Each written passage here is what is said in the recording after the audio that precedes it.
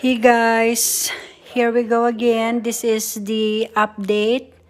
I'm on a part 4 series. If that you can see in there, I'm almost halfway there. And I